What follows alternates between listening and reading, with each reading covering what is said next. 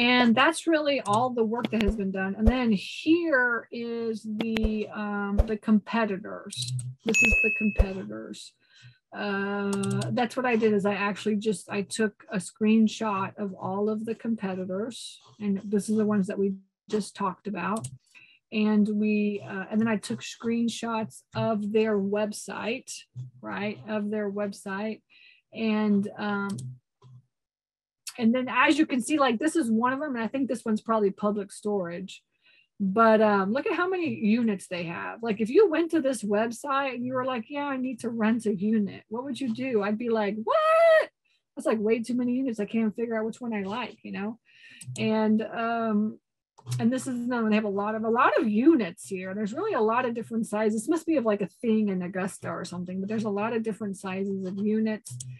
And, um, and then here's another one. This doesn't have really too many units right here, just a couple, but you can always tell the units.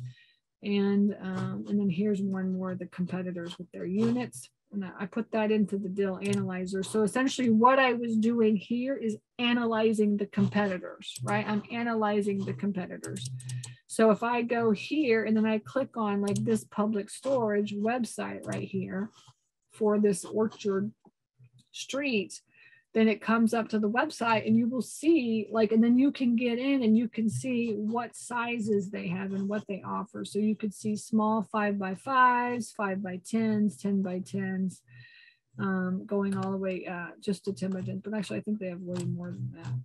But um, and then so what I did was that when I'm analyzing the competitors, I'm really only looking at the same like you know apples to apples, right? So I'm not sitting there in the deal analyzer and putting every single one of the um, the uh, the units in. What I'm doing is just saying, okay, like I know the one that the you know A and A has a five by five out an outside unit five by five, and they're charging thirty two dollars a month. So I'm going to put that on the sheet, right? I know they have five by tens outside units, so I'm going to put forty three dollars. So I'm not going to get in and do all kinds of crazy stuff or anything like that.